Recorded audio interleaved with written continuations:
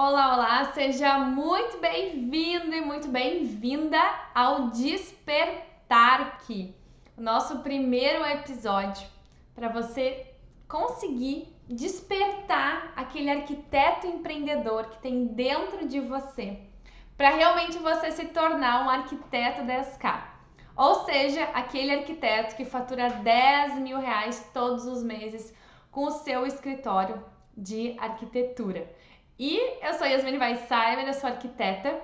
E o primeiro episódio, então, o primeiro tema da nossa aula de hoje é o primeiro passo que você tem que tomar para se tornar um arquiteto empreendedor.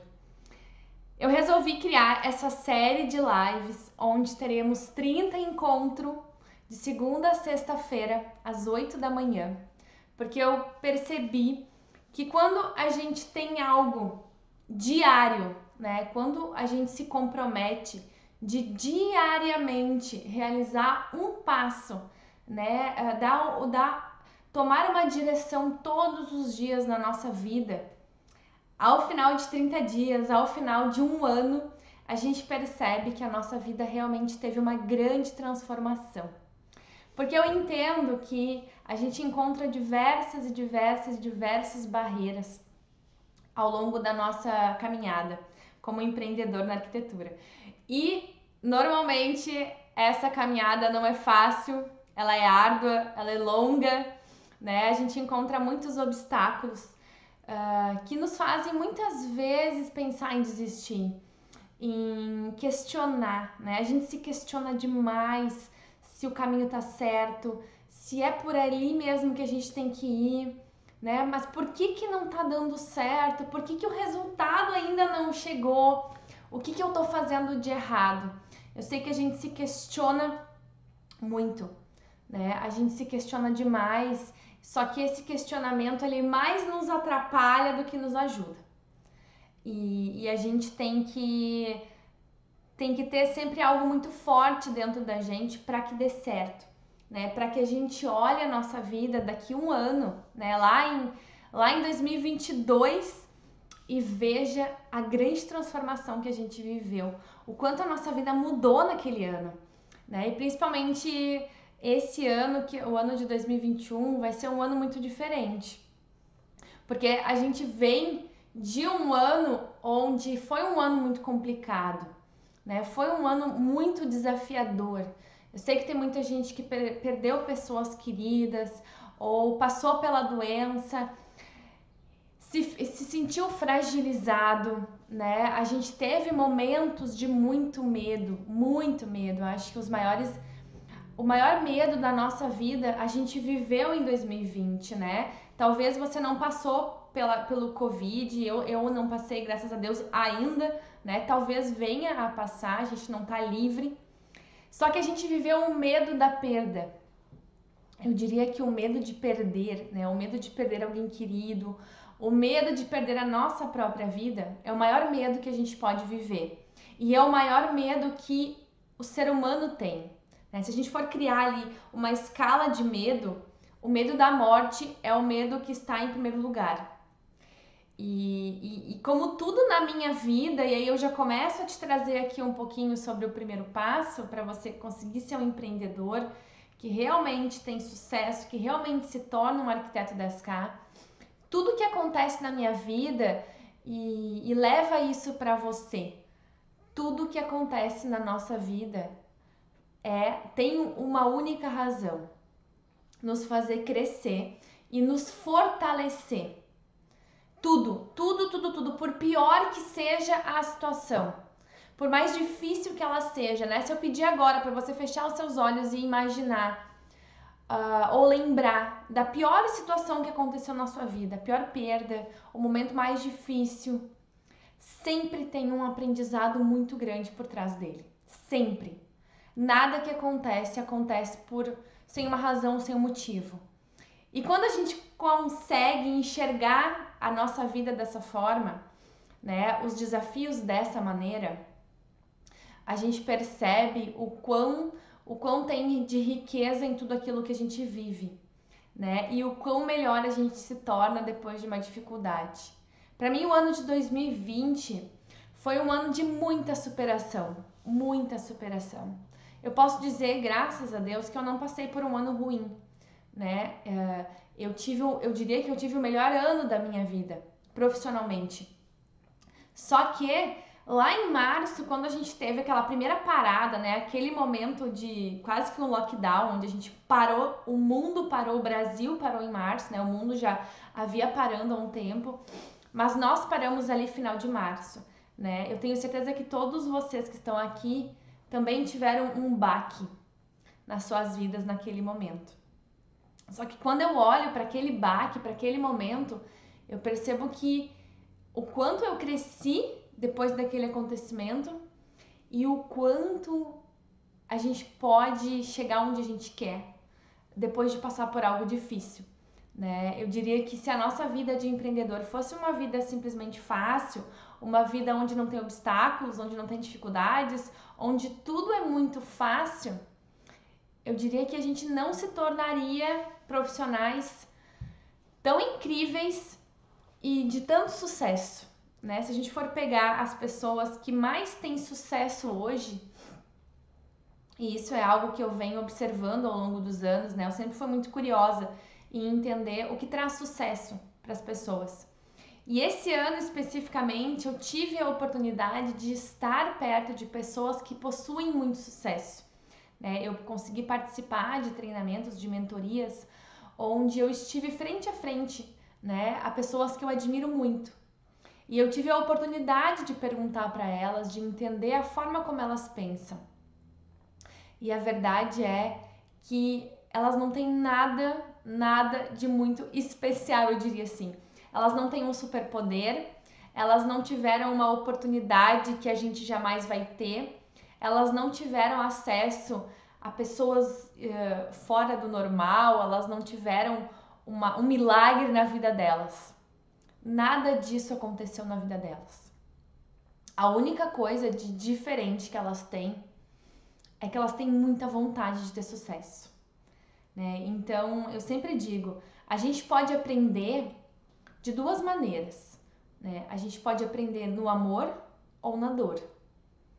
A gente pode aprender no amor, que é você estar aqui comigo durante os próximos 30 dias, concentrado, focado, anotando, mudando a sua mentalidade, né? Despertando o empreendedor dentro de você. E ao final desses 30 dias você ter uma grande transformação na sua vida, porque você vai executar tudo que você aprende ao longo dos dias e você vai colocar em ação a sua vida.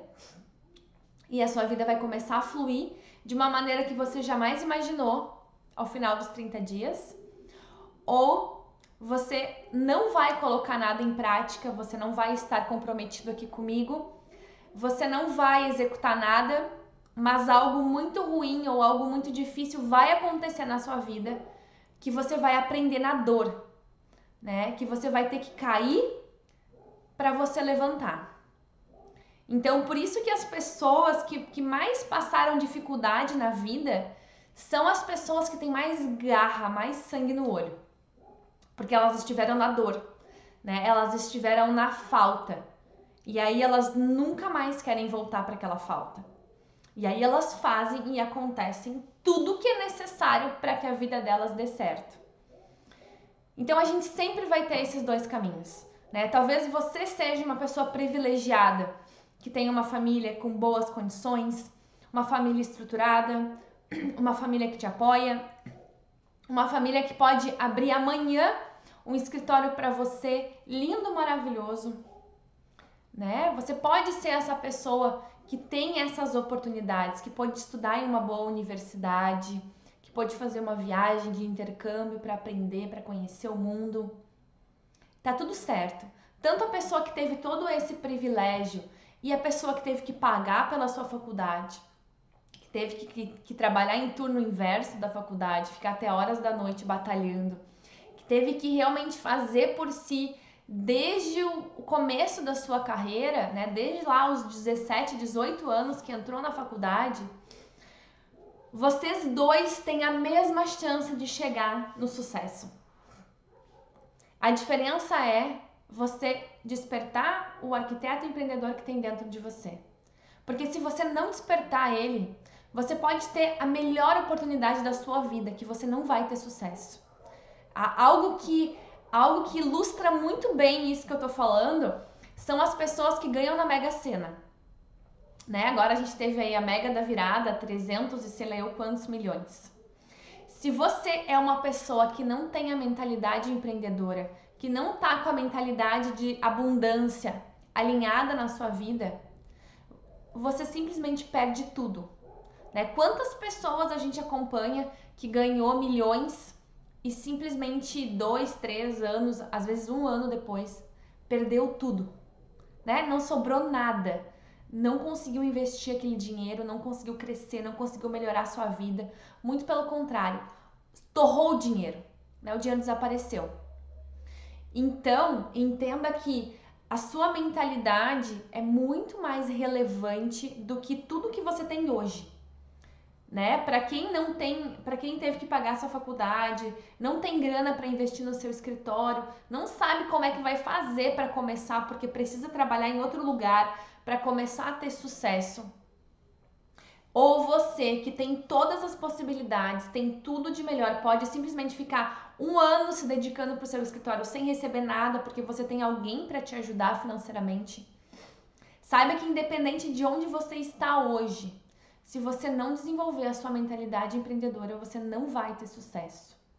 E é para isso que eu criei o Despertar, né?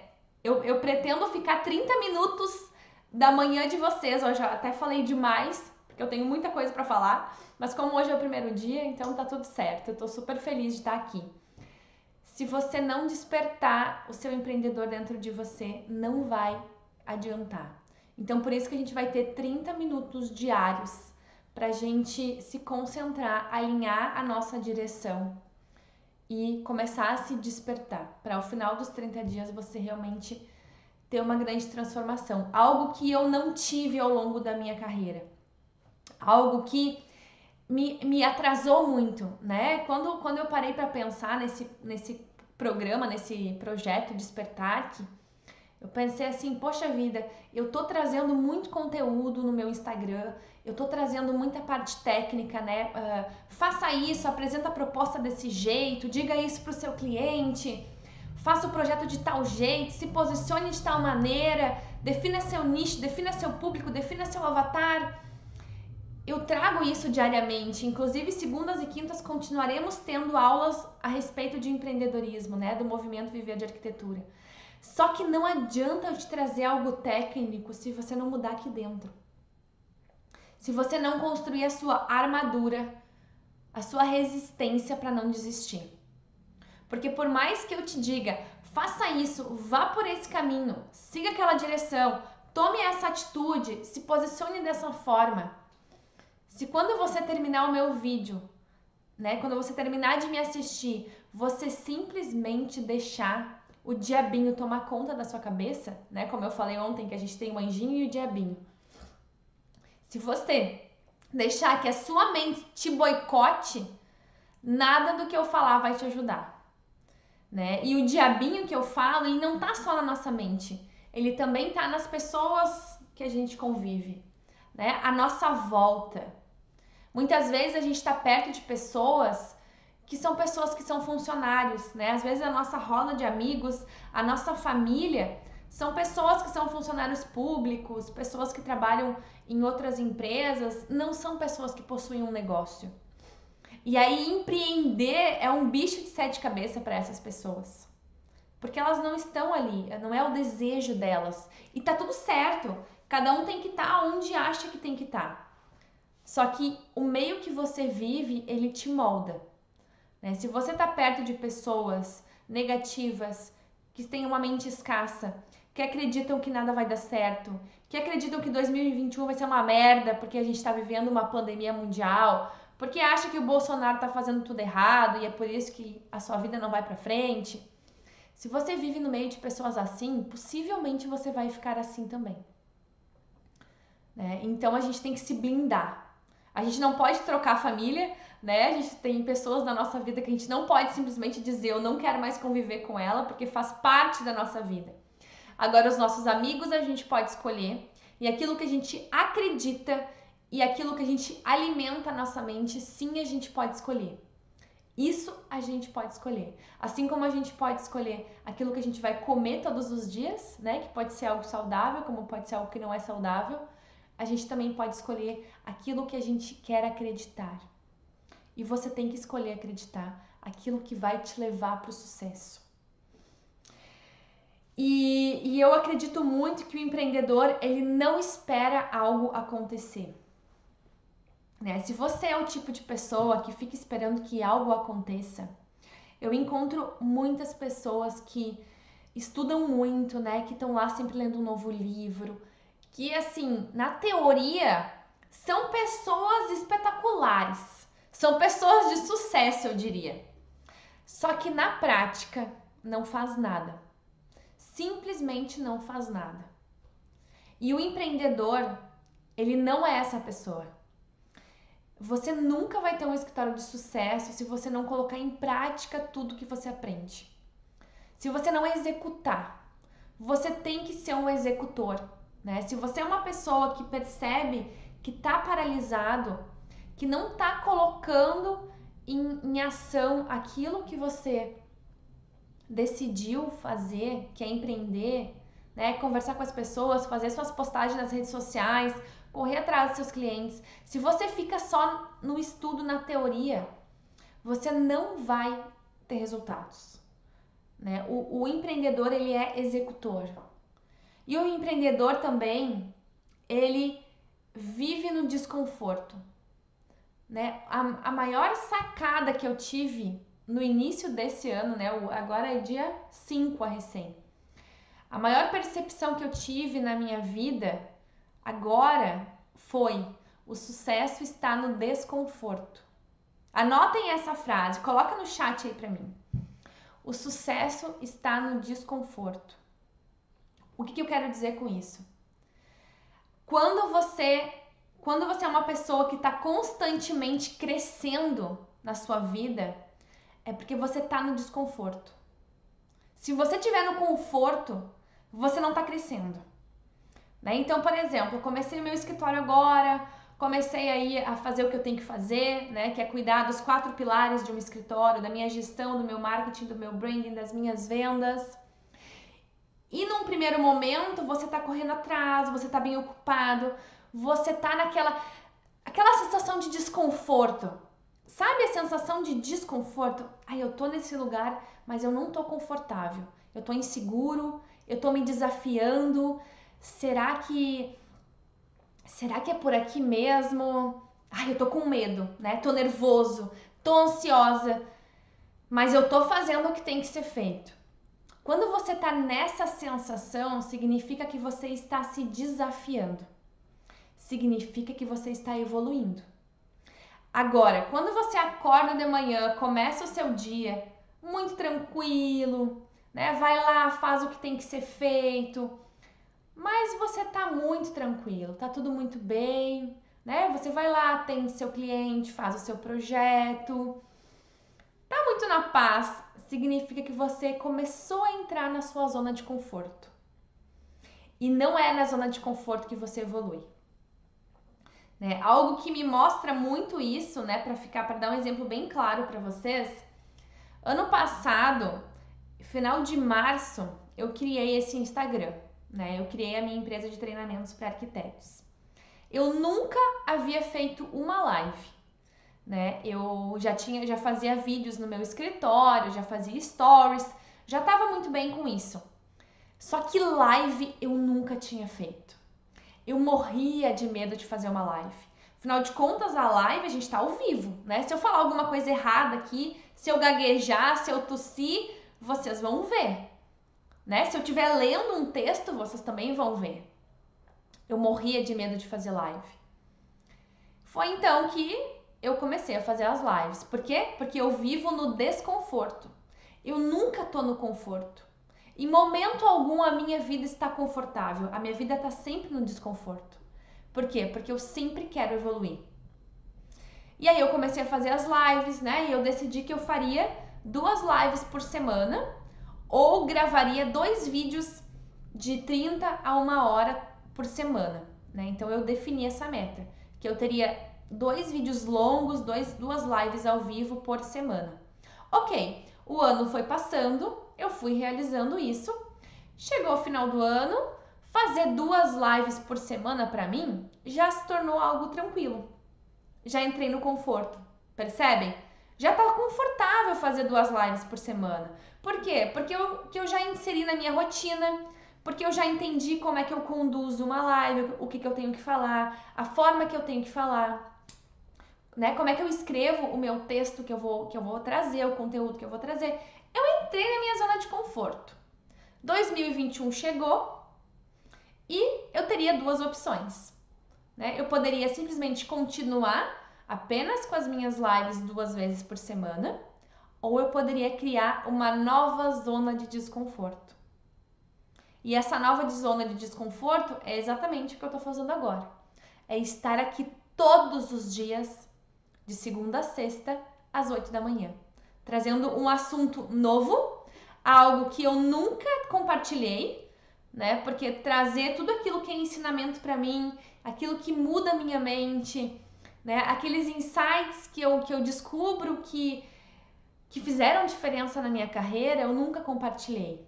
Então é muito desafiador para mim chegar aqui e trazer aquilo que realmente mudou a minha vida e conectar para que mude a sua vida também. Então eu acabo de estar na minha zona de desconforto novamente. Agora imagina o quanto que eu vou evoluir e o quanto que vocês vão evoluir depois de 30 dias, depois de um ano estando aqui comigo às 8 da manhã. Percebe? Percebe? Faz sentido agora o que é zona de desconforto, gente? Coloca para mim aqui. O empreendedor está sempre na sua zona de desconforto. Entenda, se você não está no desconforto, você não está evoluindo. Né? E não precisa levar o desconforto para um nível de algo ruim. Né? Ai, eu não estou bem. Ai, eu não gosto de ficar sempre, sempre nessa situação difícil. Não é isso. Mas é entender que você precisa se desafiar né? Se você não se desafia, você não evolui, você não cresce, você não melhora. Porque lá na frente, quando você olhar para esse desconforto, você vai ver o quanto você cresceu. Então, esteja sempre na sua zona de desconforto. Um outro ponto é você assumir riscos. Né? O empreendedor ele está sempre disposto a assumir um risco. Quando eu criei o meu, a minha empresa de treinamentos para arquitetos, né, o Arquiteto 10K, automaticamente eu assumi um grande risco na minha vida. Como assim assumir um risco? Eu assumi um risco, por quê? Porque eu abri uma nova empresa, eu contratei novas pessoas, eu comecei um projeto que eu nunca havia feito, eu nunca havia dado uma aula sequer na minha vida. E o meu escritório estava muito bem, obrigada, né? Tem projetos, vive muito bem, cresce a cada ano, tá tudo certo com o meu escritório. Diferente de muitas pessoas que foram para o digital para conseguir sobreviver, né? Que tem muita gente que faz isso, que vai para o online ensinar arquitetos porque não está conseguindo viver do seu escritório e tá tudo certo, né? Não, não tô aqui para criticar ninguém, mas diferente disso, eu não queria, eu não estava mal no meu escritório, eu estava muito bem mas eu queria entrar na zona de desconforto de novo. Eu queria criar algo muito maior do que o meu escritório. Algo que tivesse um impacto muito maior, né? Porque o nosso escritório ele impacta sim as pessoas. Mas eu, mas para mim aquele impacto já não era mais suficiente, né? Eu queria impactar muito mais. E a maneira que eu encontrei foi ajudar os arquitetos. Se eu não tivesse corrido o risco de vir aqui fazer uma live, contar minha história, trazer algo novo, algo que ninguém faz, trazer um curso que aborda áreas que não, ninguém mais aborda. Eu não teria crescido quanto eu cresci em 2020. Né? Eu não teria conseguido ter uma empresa que chegou num faturamento muito incrível em 2020 se eu não tivesse assumido o risco de tentar né? Então eu quero que você faça um compromisso com você hoje. Ah, na verdade, um não, dois compromissos. O primeiro deles é: o sucesso não está na zona de conforto. A partir de hoje, você não vai mais estar na sua zona de conforto. Simplesmente você estar comigo ao vivo às 8 da manhã já vai fazer com que você não esteja na sua zona de conforto. Pode ter certeza. Então assuma o compromisso de estar comigo às 8 da manhã, para não estar na sua zona de conforto mais. E o segundo compromisso é assuma os seus riscos. Assuma o risco de empreender. Assuma esse risco. E como você pode assumir esse risco? Começando agora. Se você ainda não tem o seu escritório, comece agora ele. Né? Já é 5 de, de janeiro. Você vai esperar passar mais quanto tempo? Mais um mês, mais dois, mais três, mais um ano? Se você já tem o seu escritório, você vai esperar passar mais quanto tempo para dar a volta por cima e realmente se tornar um arquiteto 10K?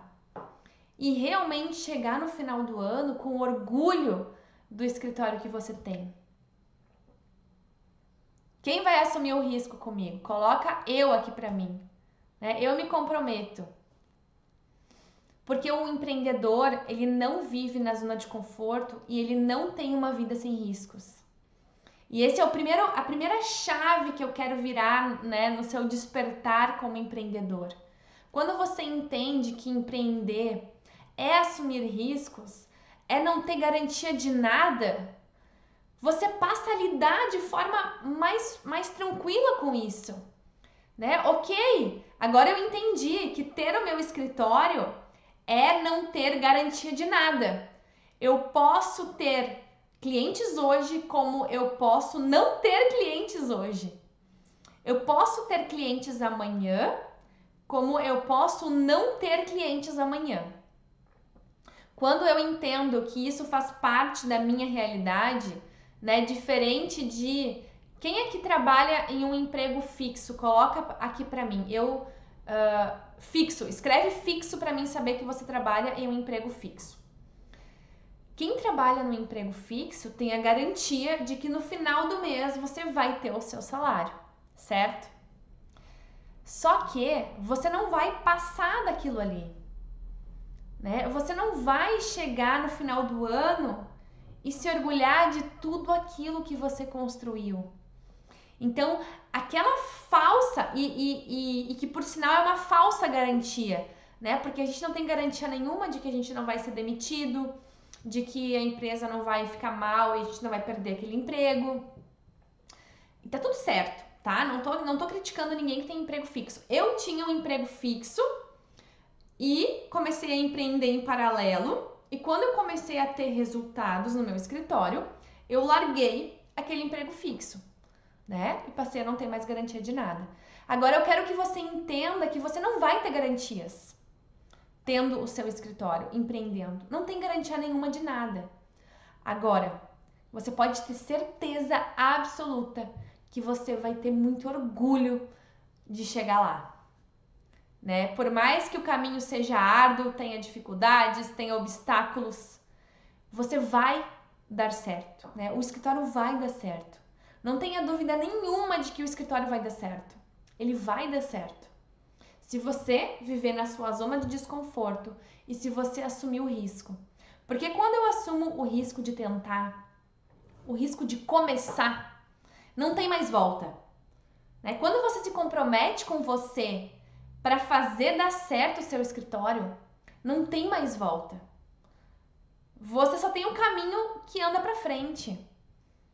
E esse caminho, ele vai chegar em algum lugar. Né? E eu tenho certeza que você vai se orgulhar desse caminho. Se eu pudesse falar para Yasmine lá quando se formou, né? Se eu pudesse falar para Yasmine em 2012, e se você está começando, eu quero falar para você. Apenas comece e nunca mais pare.